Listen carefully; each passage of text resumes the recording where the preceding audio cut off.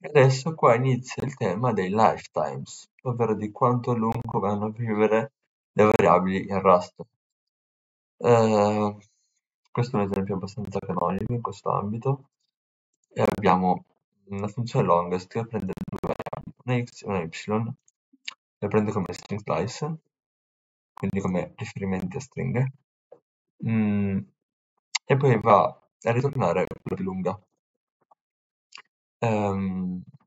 quindi la stringa 1 sarà per esempio una stringa da ABCD, la stringa 2 sarà XYZ, um, e il risultato sarà la più lunga fra le due. Il problema è, visto che eh, la funzione prende le stringhe come riferimenti a stringhe, quindi non le possiede, ma sono semplicemente delle reference, ehm, e non sappiamo quale verrà ritornata dalla funzione, non sappiamo quando possiamo eliminare una o l'altra, perché quella che viene ritornata deve continuare ad esistere, l'altra invece potrebbe essere scartata, e anzi rischiamo di scartare quella che invece dobbiamo ritornare dalla funzione, perché la funzione non possiede i dati, semplicemente fa riferimento ad altri dati che sono queste variabili. Conseguenza, come ci dice anche il compilatore, ehm, il tipo di, questa funzione ritorna un tipo preso in prestito, ok? Un borrowed value, un riferimento a qualche altro valore, ma la firma non,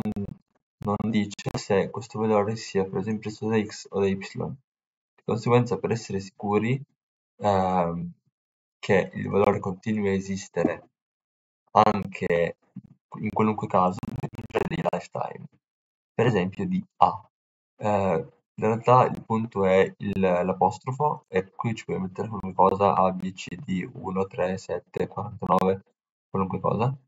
um, e vanno messi dopo la E, che vanno a specificare che quale che sia la variabile che va a essere ritornata, ho sbagliato a mettere questi però, così sono, um, sarà una variabile che vive abbastanza da arrivare a fine funzione e non viene scartata prima della fine della funzione. Con il